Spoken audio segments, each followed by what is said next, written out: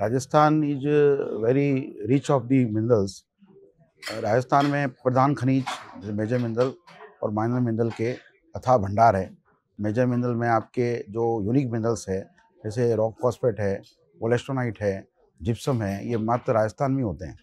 और राजस्थान का एक बहुत ही रेवेन्यू का पार्ट इससे आता है।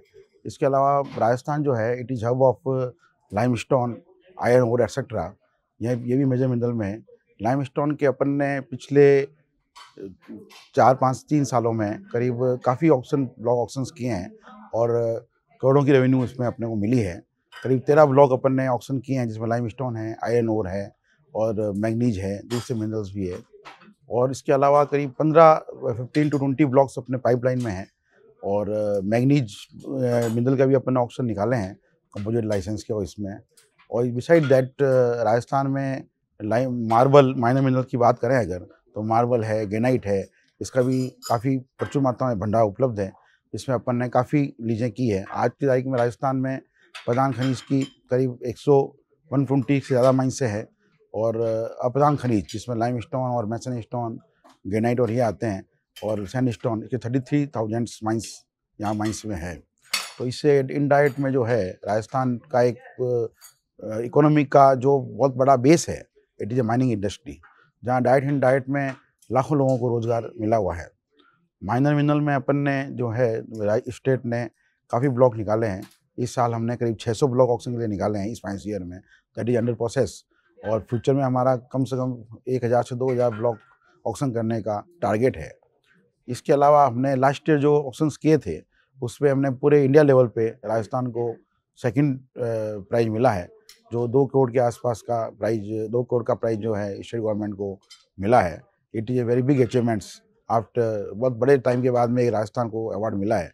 ये बहुत बड़ा अचीवमेंट है राजस्थान का। इसके अलावा भी राजस्थान जो है फ्यूचर में और भी जो इन्वेंशन कर सकते हैं रूल्स को हम और ईजियर कर रहे हैं ताकि मिनरल इंडस्ट्री में और ग्रोथ हो। जैसे मिनरल राजस्थान में जो फ्यूचर में हमारा जो बजट अनाउंसमेंट है सीएम साहब के ऑनरेबल सीएम साहब के, उसमें टाइम मिनरल लीज का टाइम बढ़ाने का एक प्रावधान है, वो हम बढ़ा रहे हैं। और 2014 40 तक हम कर रहे हैं, अभी 2025 तक है। 2040 तक टाइम बढ़ाने का प्रावधान कर रहे हैं। वो बजट घोषणा में उसका अर्लीस्ट नोटिफिकेशन आने आने वाला है। इसके अलावा जो है, हम ट्रांसफ़र प्रीमियम जो लीजों को ट्रांसफ़र होता है, वो प्रीमियम का भी बढ़ाने का हमारा बजट घोषणा है सीएम साहब का। और हम लीजों का एग्रीमेंट बिना पर्यावरण इसी के कर देंगे, माइनिंग बाद में बाद में होगी, ये भी कर रहे हैं। और भी हम बहुत सारी सुविधाएँ जो है माइंस होने को दे रहे हैं, ताकि स्टेट की मिनरल इंडस्ट्री में मैक्सिमम ग्रोथ हो। और आशा है कि मिनरल इंडस्ट्री जो है इससे और ज़्यादा ग्रोथ करेगी और लोगों को ज़्यादा ज़्यादा रोज़गार उपलब्ध होगा। डिपार्टमेंट की हम चाहते हैं डिपार्टमेंट में और भी जो भी योजना है, वो बूथ धरातल पर आए, ये इसके लिए हम पूरा प्रयास कर रहे हैं। जैसे हम आपको बताया कि मिनरल में नए नए प्लॉट्स ऑप्शन करने का बताया मैंने आपको, नए ऑप्शन हम ला रहे हैं, जैसे टू थाउज़ेंड प्लॉट्स का हमारा टारगेट्स है तो इससे भी रेवेन्यू जनरेट होगा। नए ब्लॉक्स हमारे मैगनीज के लाइम स्टोन के अंडर पाइपलाइन है, वो भी एक फ्यूचर में आने वाले हैं, उसकी भी पूरी तैयारी हो गई है, वो भी होगा। इस तरह से पूरा सफिशेंट हमने पूरा प्लान बना रखा है, पूरे एक साल में राजस्थान में मिनरल इंडस्ट्री का पूरा कायाकल्प होने की संभावना है।